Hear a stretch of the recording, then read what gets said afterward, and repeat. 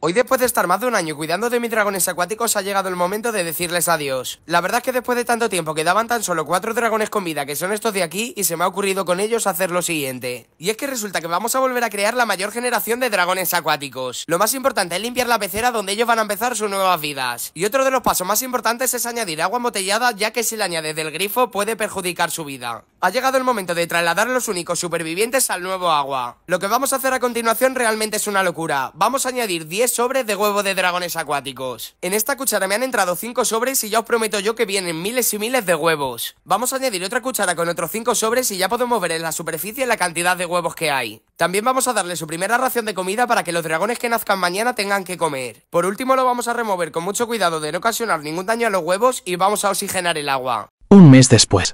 Después de estar más de un mes cuidando de mis dragones acuáticos, ha llegado el momento de enseñaros cómo están de grandes. Muchos de vosotros me dejasteis en los comentarios de mis vídeos anteriores que sin un oxigenador los dragones acuáticos no iban a nacer. Y aquí ya podíamos comprobar en una semana que habían nacido sin oxigenador y que algunas de las hembras empiezan a transportar huevos en su cuerpo. Aún así esta vez os he querido hacer caso y he ido corriendo a Amazon para comprarle un oxigenador. De esta manera, según vosotros, lo que vamos a hacer es darle más calidad de vida y que nazcan miles de dragones más. Y la verdad es que eso tenía que comprobarlo yo. Por otro lado, el otro día mirando las estanterías de mi casa, me encontré con otro sobre de huevos de dragones. Y es que esto teníamos que añadirlo a otra pecera para ver cuántos dragones más nacen de esta. Y ahora sí ha llegado el mejor momento que es ver cómo están de grandes en la oscuridad.